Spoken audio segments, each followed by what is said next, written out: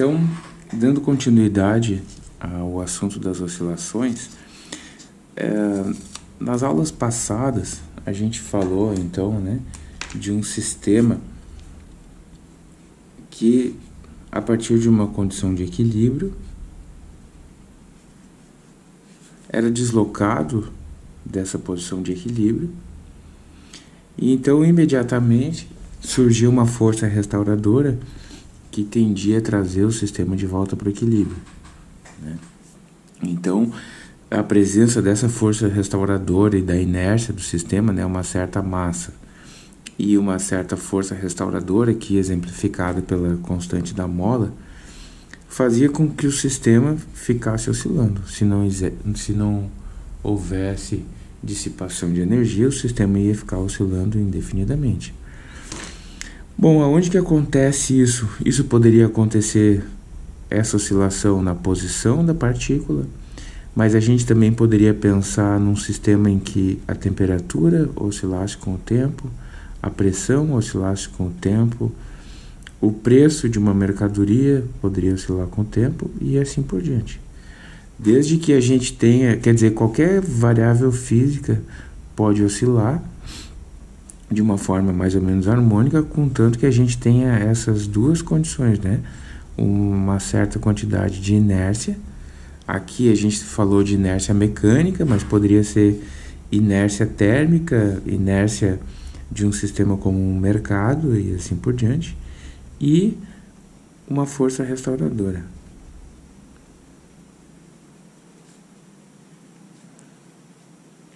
Isso vai configurar uma condição, um regime de oscilação. Agora, então, eu gostaria de falar das ondas mecânicas especificamente. Depois a gente generaliza para outros tipos de ondas, em que vai existir um, uma oscilação encadeada. Vou tentar explicar para vocês. Imagina que a gente tem um conjunto de pequenas massas ligadas por molas.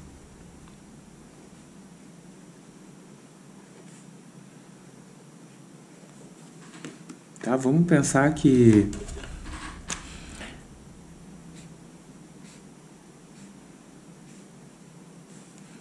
que se estendem em, nas duas direções.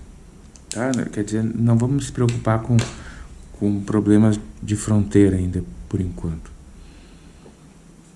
Bom, eu pego uma dessas massas e desloco ela do equilíbrio, trago ela para cá e solto, certo?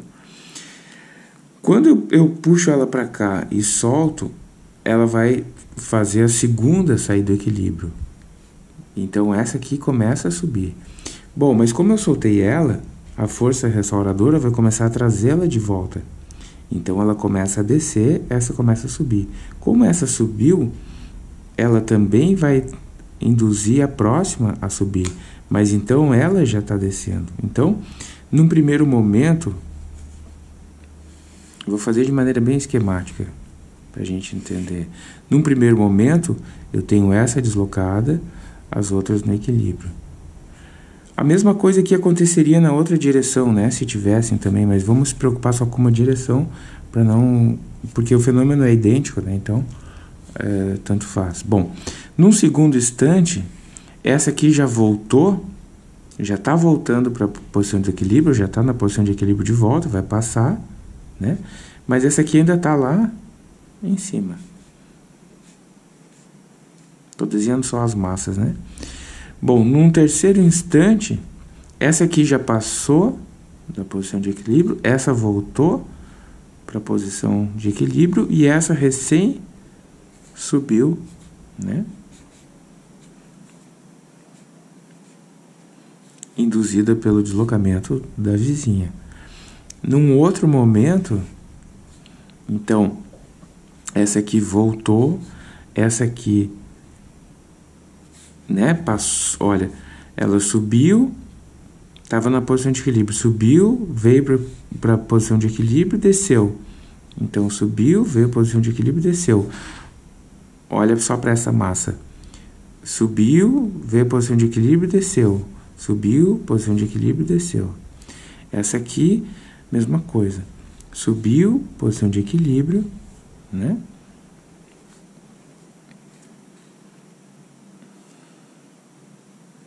E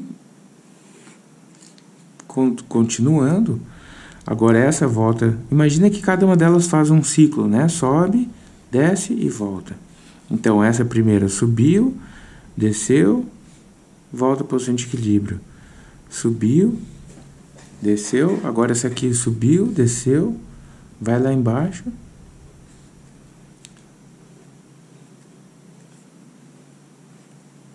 Tá? E como ela tinha como ela tinha saiu do equilíbrio nessa posição, ela também vai induzir a vizinha dela a subir, né? Então, na verdade, aqui a vizinha dela estaria lá em cima já, né? Certo? Então, olha o que está acontecendo. Se eu olho. Então, aqui. Se eu olho para essa perturbação que eu produzi nessa massa, o que, que essa perturbação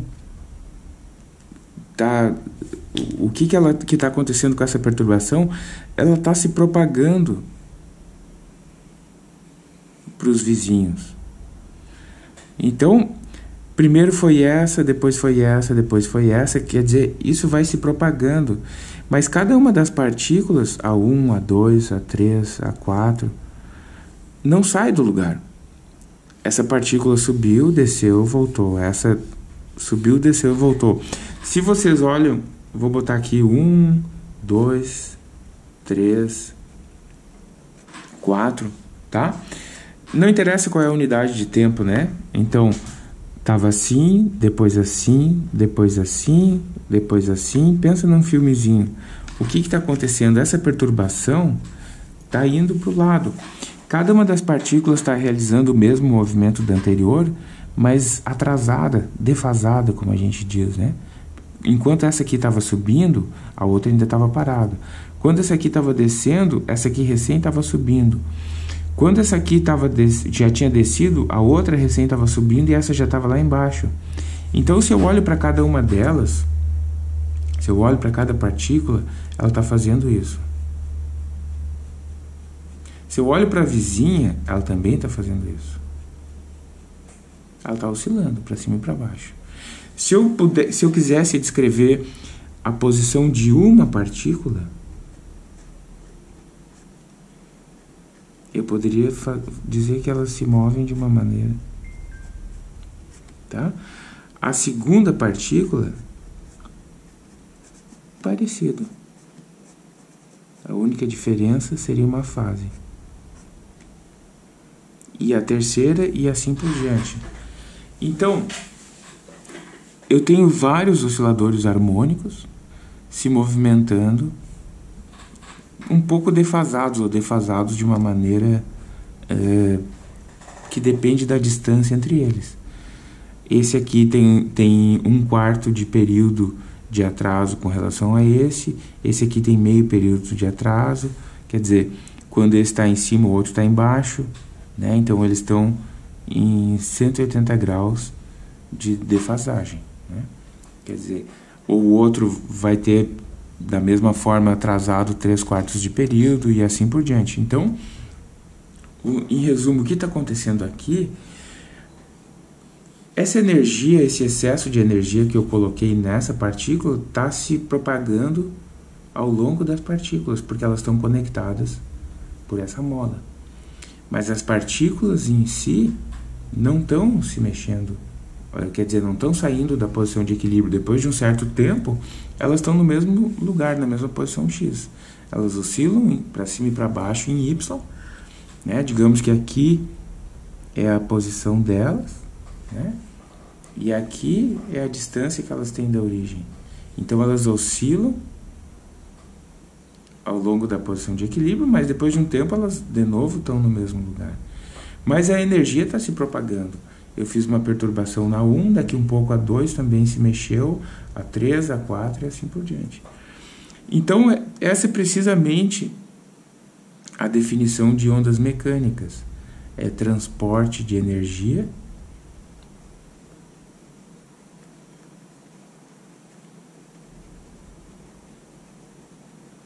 sem transporte de matéria.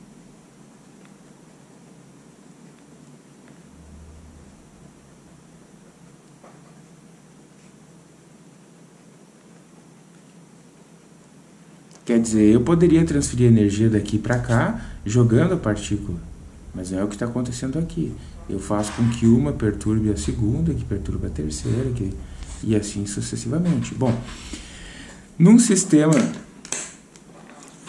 É, qualquer sistema vai ter essa configuração. Por exemplo, pensa na corda de um violão.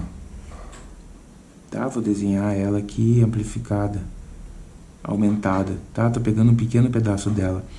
Ela tem uma certa massa e ela também tem uma certa elasticidade. Então, quando eu perturbo, quando eu bato numa corda de violão, eu estou fazendo justamente isso, produzindo uma certa perturbação num sistema que vai propagar essa onda.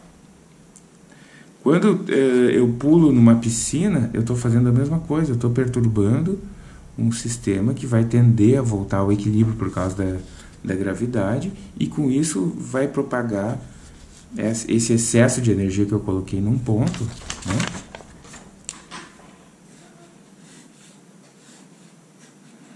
Eu jogo uma pedra no meio de um lago. Ela vai gerar uma perturbação olhando de lado, né? Vai gerar uma perturbação que vai se transferir para os vizinhos. Daqui um pouco tá assim e vai se propagando. Essa perturbação vai se propagando. Tá? Então isso configura uma onda.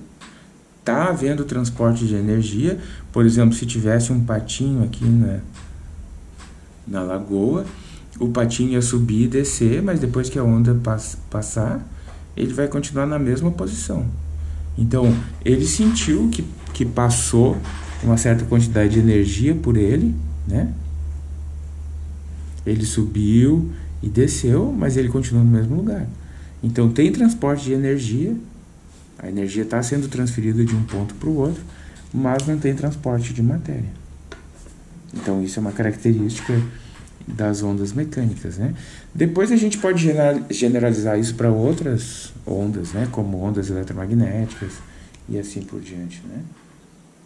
Mas vamos começar com as ondas mecânicas, que são mais é, simples de entender, né? Mais direto, né?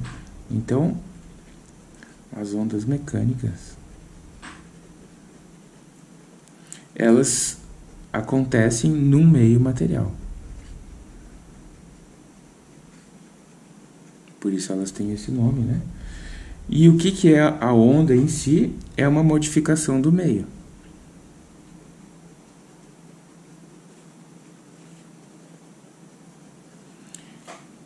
Em que quantidade? Em, em qualquer uma delas ou em várias das quantidades físicas, né? Poderia, poderia modificar a pressão no meio, por exemplo, uma onda sonora, a densidade, né, a posição das partículas que compõem o meio.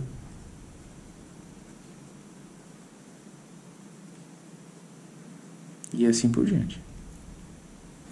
E elas são é, de dois tipos: transversais ou longitudinais.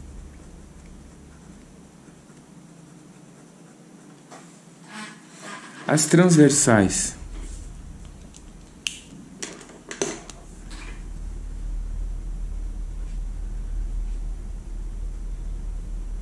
as ondas transversais, né? Significa que o deslocamento o deslocamento do meio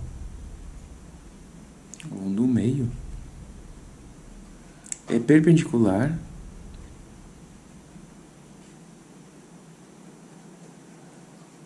à propagação, à direção de propagação da onda.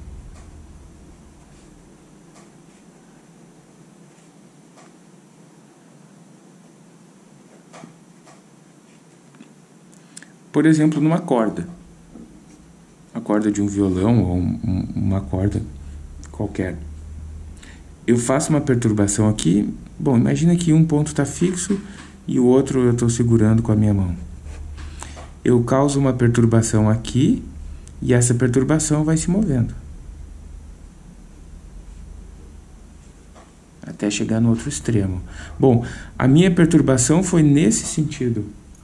Né? Eu produzi um dy aqui. Mas a onda, então, a onda está se propagando nesse sentido. Então, a minha perturbação é perpendicular à propagação da onda. Então, isso é uma onda transversal. O outro tipo de onda são as ondas longitudinais.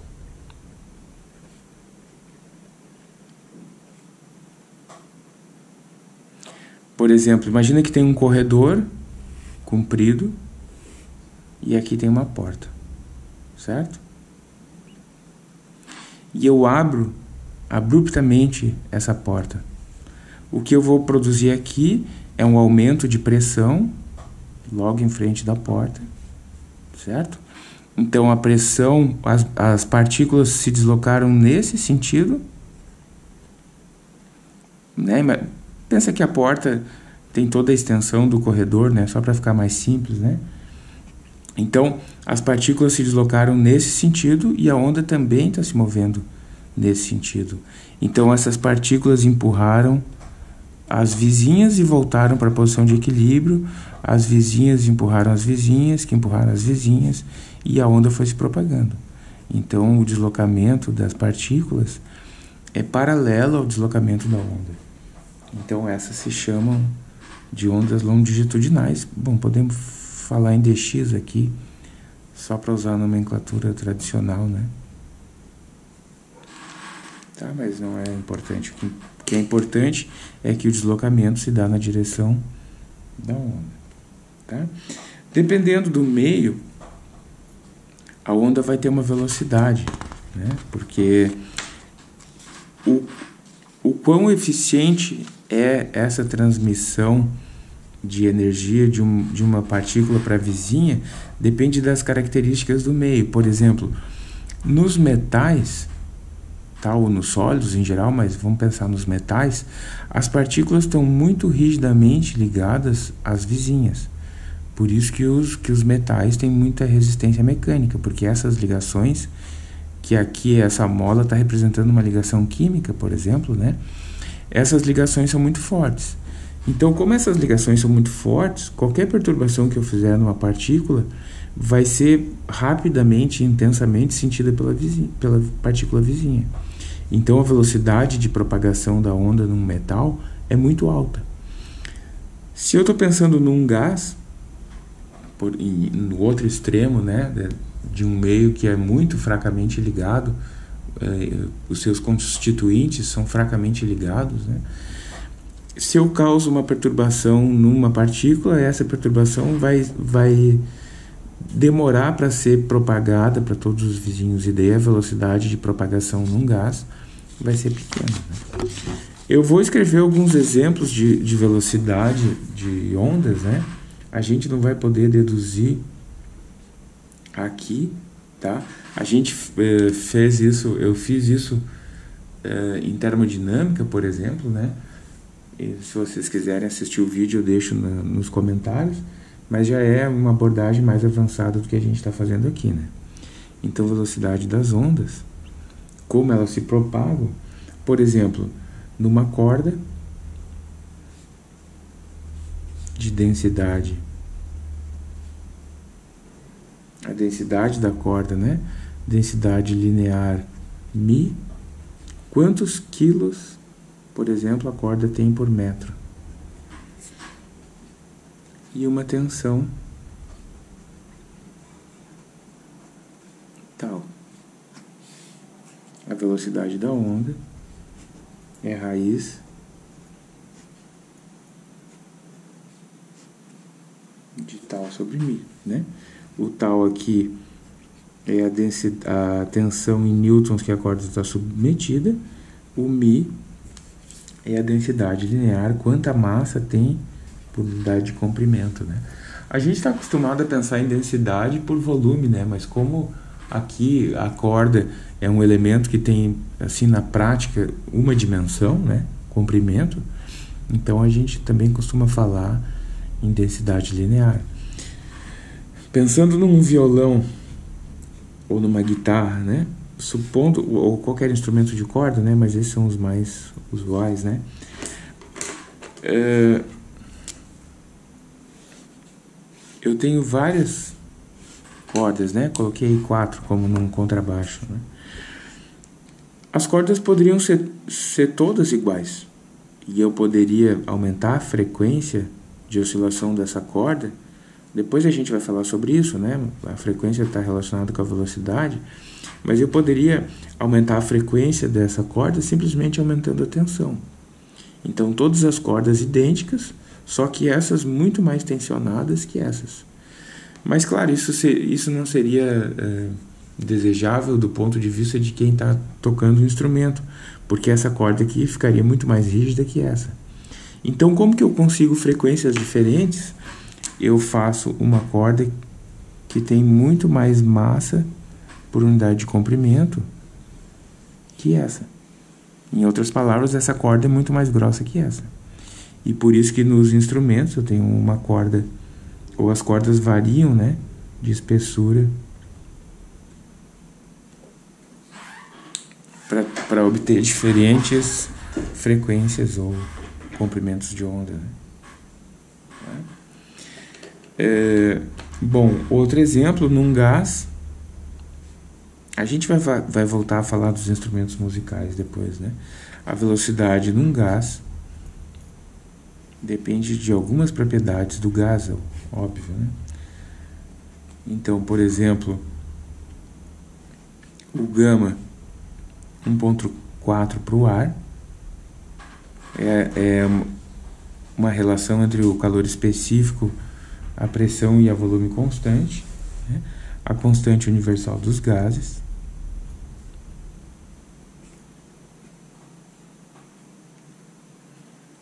a massa molar,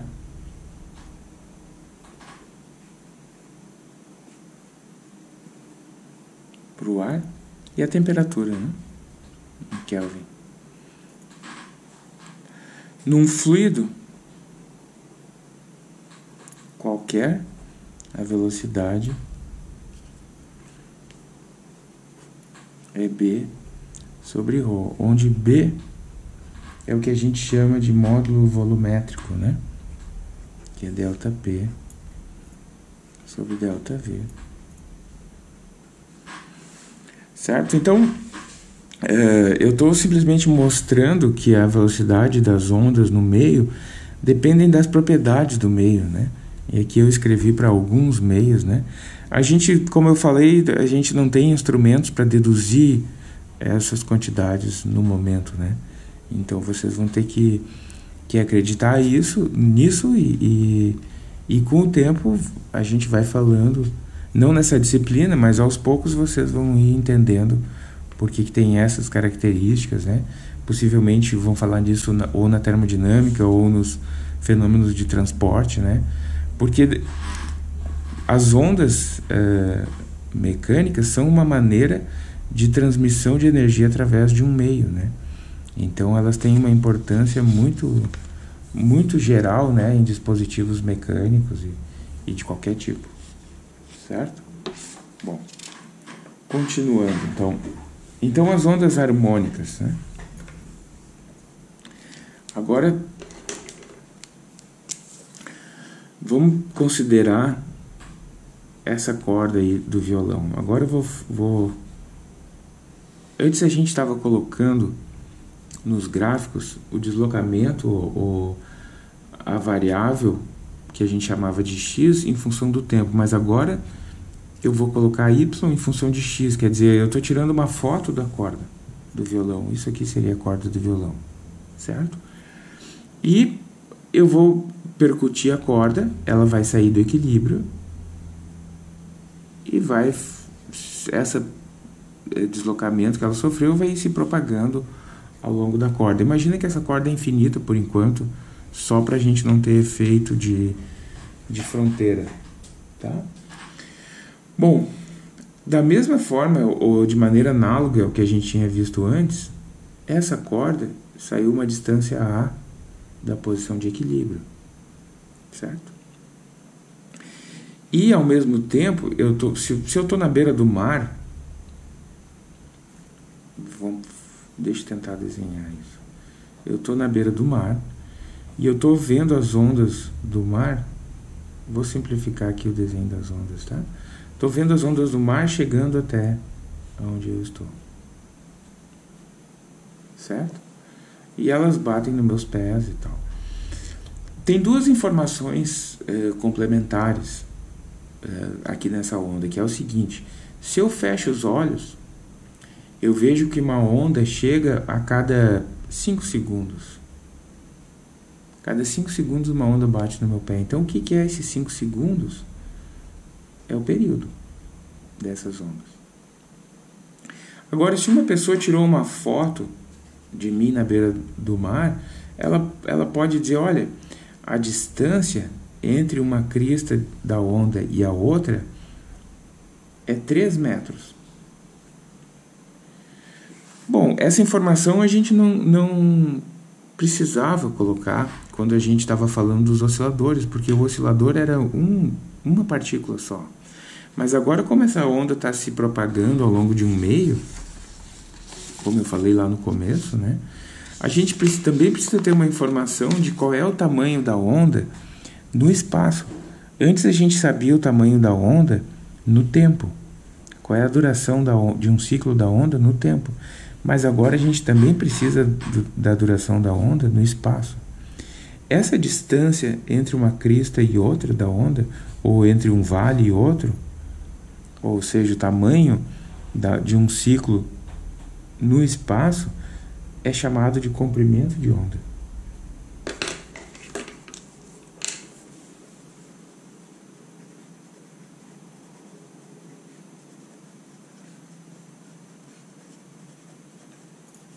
A gente simboliza pela letra grega lambda, tá? E a distância, ou o tamanho da onda, né? Distância na qual a onda se repete.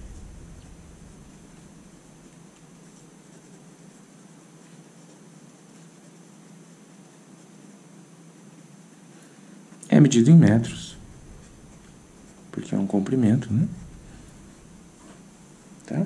E o período tem a mesma interpretação de, on, de antes. O intervalo de tempo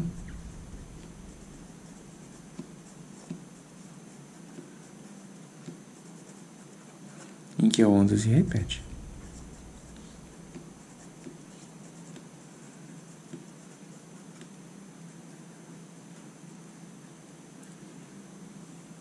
Agora, daqui a gente consegue tirar uma equação fundamental das ondas, que é o seguinte: se eu fechei os olhos e cheguei à conclusão que a cada 5 segundos chegava uma onda em mim, significa que essa onda andou 3 metros em 5 segundos.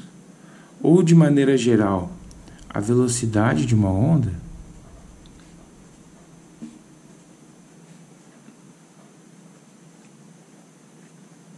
o seguinte: velocidade, bom, é sempre o deslocamento por tempo. Qual foi o deslocamento da onda? Lambda. Qual foi o tempo, o tempo transcorrido? O período. Então, essa é uma equação fundamental das ondas, porque ela relaciona o tamanho da onda no espaço com o tamanho da onda no tempo, digamos assim seleciona, ela relaciona as duas características da onda. Né? Como o período também pode ser escrito como o inverso da frequência, essa relação também muitas vezes aparece assim.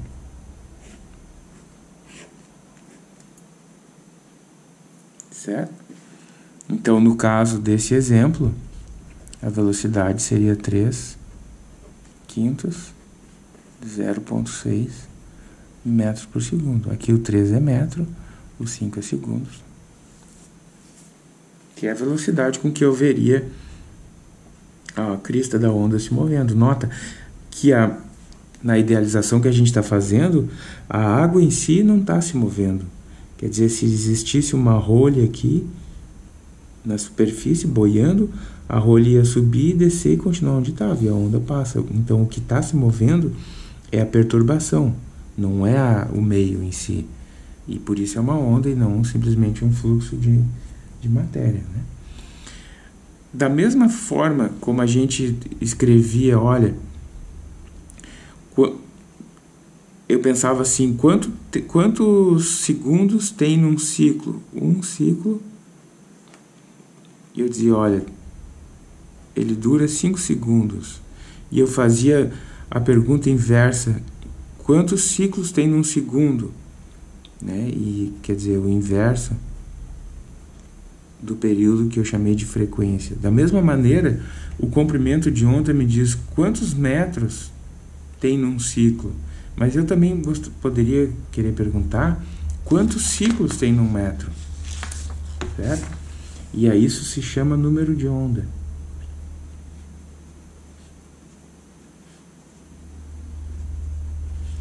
É um K maiúsculo, então, bom, vai ficar confuso, né, com energia cinética, com, com cada mola e, e assim por diante, né? Então, vai ficar um pouco mais claro do contexto, eu vou botar assim por enquanto, embora não se use isso, mas só para não confundir mais que o necessário, né? E a unidade desse K é 1 sobre metro. Então, se eu tenho, por exemplo, o meu lambda é 3 metros, o meu K é 1 terço por metro. Ou seja, o meu o meu comprimento, a minha onda tem 3 metros.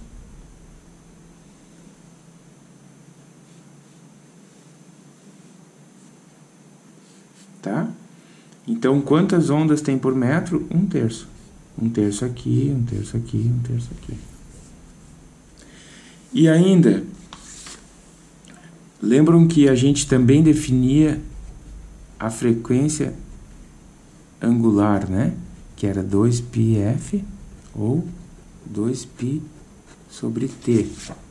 E da mesma forma, a gente vai definir o número de onda angular, que é um K minúsculo, 2π sobre K maiúsculo, ou 2π sobre lambda. O que, que, o, que a frequência angular nos dizia? Nos dizia qual era a, a frequência do sistema, só que estava expressado em ângulos, né? radianos por segundo. Quer dizer, uma frequência angular de π radianos por segundo significa que, que o sistema fazia meio ciclo a cada segundo. Aqui é a mesma coisa, né? Só que aqui vai ser radianos por metro. Quer dizer, um número de onda angular de π radianos por metro significa que em cada metro acontece meio ciclo da onda do ponto de vista do, do comprimento dela. Bom, a gente já vai, vai tentar é, entender como tudo isso é, se encaixa numa descrição dessa onda. Né? Por enquanto, eu não sei se, se ainda está claro, mas eu vou tentar deixar mais claro para vocês. Bom, é, para a gente então tentar colocar todas essas coisas num contexto mais útil, né, mais compreensível, vamos pensar o que, que acontece com essa onda. De novo, da mesma forma que antes, para a gente eh, chegar a essa descrição completa da onda, de uma maneira analítica, a gente teria que resolver a equação da onda né, em uma dimensão, pelo menos, que, que é uma coisa que está bastante além do, das ferramentas que a gente tem agora, né? É uma equação diferencial parcial de segunda ordem e tal. Né? Vocês vão resolver isso certamente, né? Mas por enquanto a gente vai ter que entender como descrever uma onda de maneira um, um pouco empírica, né? O que, que então aqui eu tenho uma foto da onda tá? Num instante de tempo. Vou desenhar um ciclo, mas imagina que isso sempre se propaga. Bom, o que, que, vai acontecer? Então, isso aqui é num certo instante de tempo. Se eu olho essa onda, no instante seguinte, ela vai estar tá aqui, ó. Ou seja, ela se propagou daqui para cá. Né? Esse ponto veio para cá, esse para cá, esse para cá e assim sucessivamente. Como eu faço uma função andar?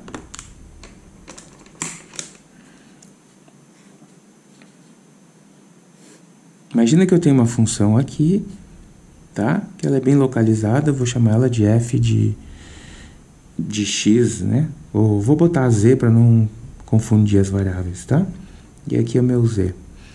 Aqui é minha f de z. Bom, se eu subtraio uma constante, significa o seguinte: essa, essa função tem um máximo quando z é igual a zero. Ou quando o argumento aqui dentro é zero.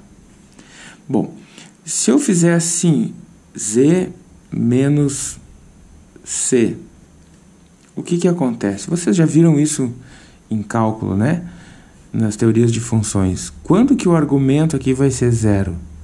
Quando z for igual a c. Então agora essa função tem um máximo em c. Quando eu subtraio alguma coisa do argumento da função, eu desloco ela dessas unidades para a direita. Lembram disso? Se eu somasse c, ela viria deslocada para menos c. Agora, então se eu for mexendo no c, agora vamos pensar de maneira ilustrativa que eu tenho que isso é uma máquina, eu tenho um botão aqui que é o meu C. E inicialmente o meu botão está no zero, a função está aqui. Na medida que eu começo a girar o meu botão, C1 ela vem para cá, C2 ela vem para cá, quer dizer, ela está se propagando nessa direção na medida que eu vou aumentando o C. Como que eu poderia fazer o C aumentar é, é, no tempo, né? Automaticamente. Bom, eu poderia, ao invés de C, botar alguma coisa proporcional ao tempo. Essa coisa, essa proporção poderia ser a velocidade. Então, se eu faço uma coisa assim, ó, z menos vt,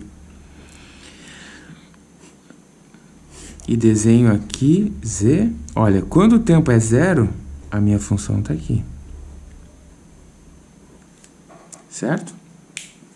Quando o tempo é 1, a minha função está em V. Né? Z menos V.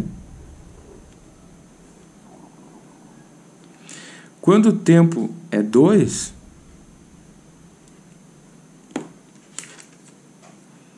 ela está aqui. Quando o tempo é 3,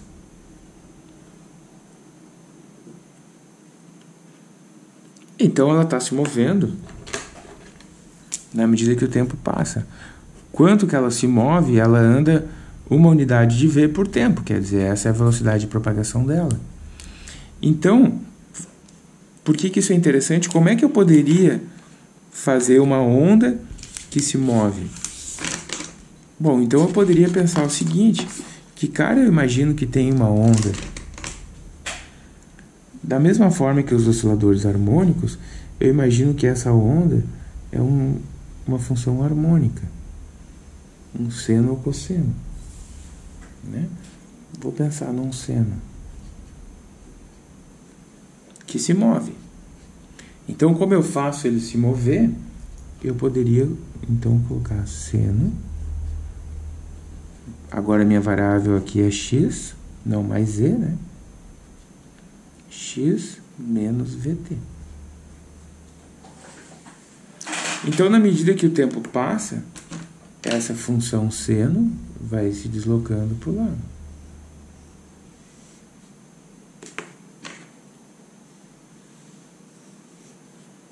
E assim por diante, que é mais ou menos a representação que eu, que eu imagino para uma onda se movendo, por exemplo, na superfície da água. Ela tem a forma de um seno harmônica e vai andando para o lado.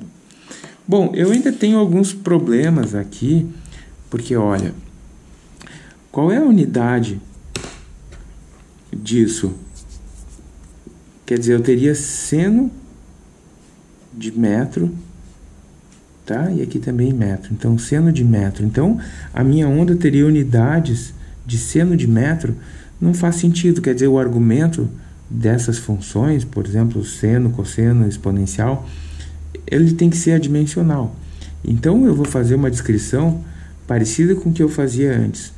Ao invés de botar o tempo, mais importante que colocar o tempo é quanto do ciclo passou. E isso eu escrevo assim: quanto que passou de tempo em comparação com, com a duração de um ciclo, que é o período. E daí eu, eu multiplicava por 2π para que isso virasse um ângulo. A gente fez essa descrição, acho, duas aulas atrás. Agora eu vou fazer a mesma coisa com, com a coordenada da distância. Mais importante que a distância é saber quanto que passou de distância em termos do comprimento da onda. E vou multiplicar isso por 2π para transformar isso num ângulo. Então, aqui eu tenho quanto passou do tempo em termos da duração da onda, quanto passou. Daí a gente não fala passou, né? Eu estou usando a mesma descrição para vocês verem como a coisa é simétrica, mas quanto aonde eu estou em distância medido, medindo isso em comprimentos da própria onda. E daí, como o seno ou o cosseno estão preparados para trabalhar com ângulos, eu transformo isso, quanto passou do ciclo, tá? num ângulo, multiplicando por 2π. Então, agora a minha onda, a altura da minha onda vai depender de uma certa amplitude, A, que não muda na medida que a onda se propaga, vezes o seno. O que, que é 2π sobre lambda?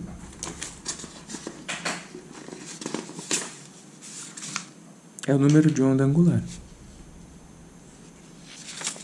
Então, Kx, o que, que é 2π sobre o período? Ômega t. Então agora a posição da minha onda depende da onde eu estou olhando e qual é o instante de tempo. Tá? Então isso é uma descrição de, da propagação da onda. Certo? Bom, vamos tentar uh, entender um pouco melhor, né, discutir um pouco melhor isso, porque talvez tenha ficado um pouco confuso, né? Vou, vamos pensar em valores concretos, né? Eu tenho aqui x e y, quer dizer, eu estou tirando uma foto da beira da praia, tá? Tá aqui a pessoa, o baldinho, a pazinha, certo? E aqui está a onda.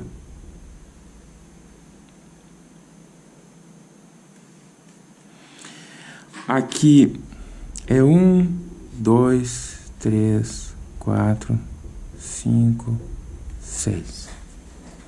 Certo? Bom, em primeiro lugar, eu ainda não sei nada do tempo, tá? Eu só estou olhando para a posição. Alguém tirou uma foto minha na beira da praia. Qual é o comprimento de onda? Que distância tem entre uma crista e outra da onda? Ou entre um vale e o outro. Um, dois, três, quatro. Quatro metros. Certo? Qual é o número de onda? Então, bom, digamos que eu estou. A posição inicial é aqui, ou, ou eu poderia também ter medido, olha, saio daqui, venho e volto à mesma posição. Aqui também tem os 4 metros. Se eu estou em x igual a 2, tá? Tô olhando, vou olhar agora para esse ciclo. Se eu estou em x igual a 2, x sobre lambda me diz o que? 2 sobre 4, 1 meio. Eu estou na metade do ciclo. Já, já atrás de mim tem metade do ciclo, na frente tem outra metade. Eu estou na metade do ciclo. 2π x sobre lambda. 2π, 1 meio, π.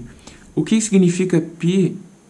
Significa, né, se vocês lembram, 0, π sobre 2, π, 3π sobre 2, 2π.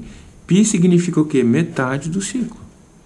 Então, todas essas informações são, são é, idênticas, né? elas não são idênticas, mas elas se referem à mesma coisa. Eu estou na metade do ciclo. Agora imagina que eu estou em x igual a 1.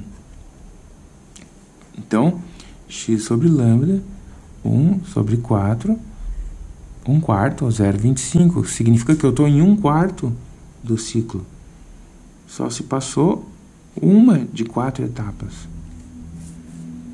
Da mesma maneira, 2π x sobre lambda vai me dar π sobre 2, que corresponde a 1 quarto de toda a circunferência. Então, só para deixar claro como que isso aqui está me dizendo aonde eu estou no ciclo da onda, né? Em que parte da onda a minha coordenada x está naquela naquele momento. O mesmo raciocínio eu poderia fa fazer com o tempo. Então, por que, que essa descrição da onda funciona? Né? Por que, que tem que ter é, posição e tempo? Porque a onda funciona da seguinte forma. De novo, uma foto da praia. Tá? Então, espaço, espaço, né? Bom, por que, que a onda varia com a posição? Tá? Esquece a parte do tempo por enquanto. Por que, que a onda varia com a posição harmonicamente? Porque dependendo de onde eu olho, a minha onda sobe e desce. Se eu vou caminhando, imagina agora que isso é uma duna, tá? que não é uma onda, né? Mas só para a gente pensar no desenho. Na medida que eu vou caminhando, ela sobe e desce. Então a onda varia harmonicamente com a posição. Dependendo para onde eu olho, ela sobe e desce. Mas, então, uma foto é o que? Tempo constante. O tempo não muda na foto. Então, essa fotografia é tudo ao mesmo tempo, certo? E o que vai mudar, se eu vou olhando para diferentes posições de, de, de, do X, as diferentes posições da onda, essa onda vai mudando. Bom, agora eu poderia fazer o seguinte, olha, eu vou ficar parado no mesmo lugar. Eu coloquei uma vara de pescar num ponto x0. E agora eu vou ficar olhando para essa vara de pescar. E na medida que o tempo passa, a onda sobe, porque ela está vindo assim, né? Então ela, ela passa, sobe e desce na vara. Então, também varia com o tempo.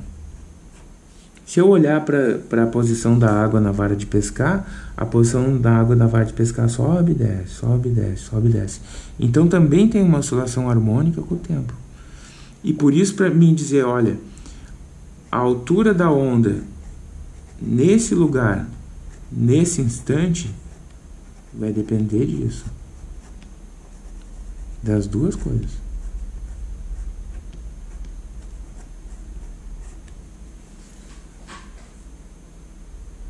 tá? E daqui eu já posso tirar a velocidade da onda.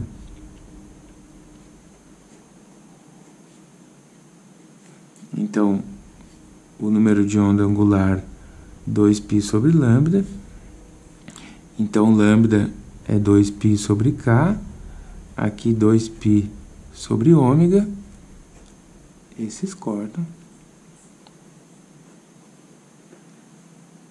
Então, dividindo aqui por aqui, eu já obtenho imediatamente a velocidade da onda. Porque é justamente essa equação aqui que está dizendo como a onda varia no espaço, quer dizer, se eu olho de um lugar para o outro, a onda muda, mantendo o t constante, e também está me dizendo como essa onda varia no tempo, quer dizer, eu olhando para a mesma posição, onde está a vara de pescar, a onda varia para cima e para baixo? Sim. Então eu consigo relacionar as duas coisas. Certo? Bom. Então, é, o importante até agora é a gente entender como que essa função matemática que depende da posição que eu estou olhando e do instante pode descrever um seno, tá? Então isso tem o formato de um seno que na medida que o tempo passa vai se deslocando por causa daquele raciocínio que a gente fez com, aquela função. Tá? Bom, agora como a gente tira as informações físicas, a gente fez um esforço para escrever essas quantidades que são pertinentes à onda de maneira que isso ficasse correto. Nota que aqui tem x sobre lambda, então isso não tem dimensão. Aqui também tem t sobre t, então também não tem dimensão. Que é o que a gente precisa. Isso aqui está dizendo só qual é a etapa do ciclo em que a gente se encontra. Certo? Então, é, a seguir a gente fala sobre mais algumas características das ondas. Então,